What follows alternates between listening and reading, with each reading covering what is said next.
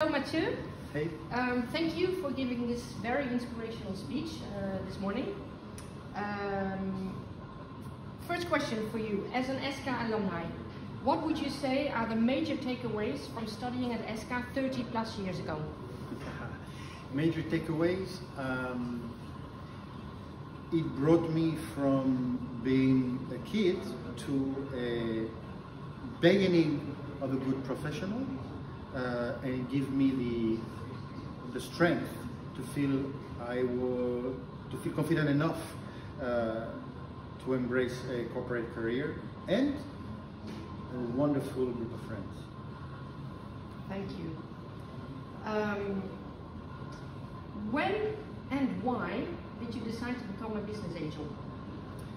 I decided to become a business angel because I believe the, in the entrepreneurs, I believed in the strengths of innovation, uh, and I believe in freedom as the major value. And um, I also believe that the entrepreneurship, entrepreneurship ecosystem needs entrepreneurs, of course, but uh, it also needs um, early financing. And you know what?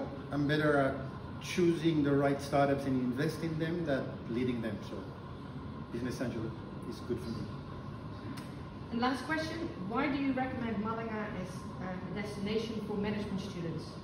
I think Malaga is um, a growing hub for innovation, for entrepreneurship, and, um, and talent.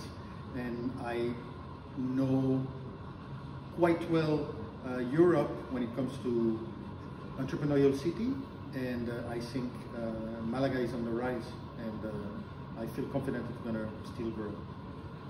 Merci beaucoup, muchas gracias. Muchas gracias, thank you, merci.